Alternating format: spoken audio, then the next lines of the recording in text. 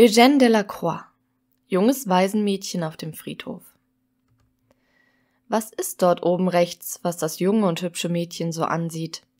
Fast sieht sie ein wenig erschrocken aus. Sie ist kein Kind mehr, aber auch noch keine Frau.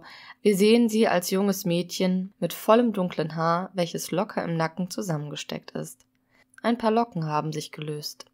Schmuck trägt sie keinen, nur ein einfaches Kleid aus einem weißen Oberteil und grünem Rock ist zu sehen, alles ein wenig verrutscht. Die jetzt freigelegte Schulter ist nicht ohne erotischen Reiz, verstärkt aber die Leserichtung des Bildes ebenfalls nach oben rechts.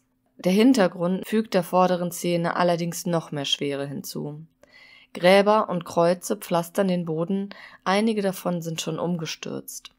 Bei näherem Hinsehen mögen wir nun auf der Wange des Mädchens auch eine Träne entdecken.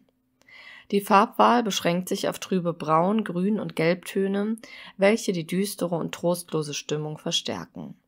Das ganze Werk wirkt in ein abendliches Dämmerlicht getaucht.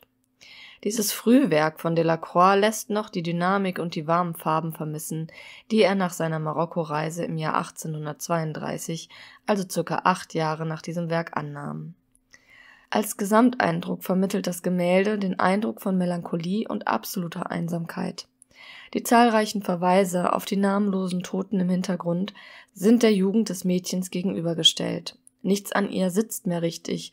Warum auch, könnte man sich fragen, wenn sie doch, wie der Bildtitel verrät, als Weise ihre Eltern bereits überlebt hat.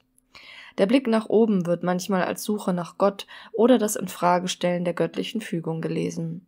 Auch gilt es als gesichert, dass das Werk eine Vorstudie zu dem viel größeren und figurenreichen Gemälde Das Massaker von Chios, welches 1824, also vermutlich im selben Jahr, entstand und am linken Bildrand eine recht ähnliche Frauengestalt zeigt. Bei ihr handelte es sich um eine vom Künstler engagierte Bettlerin, die ganz ähnlich angeordnet, aber mit geschlossenen Augen erscheint.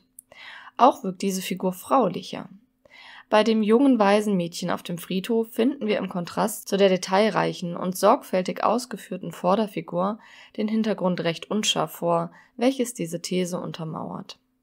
Wie dem auch sei, das Werk steht schon lange für sich, wird auch von zeitgenössischen Künstlern oft kopiert und zieht die Betrachter im Louvre in seinen Bann. Die Aussparung des Elements, welches die junge Weise so erschreckt und traurig macht, vermag es den Betrachter in psychologischer Spannung zu halten. Jeder ist angehalten, das Motiv zu Ende zu denken.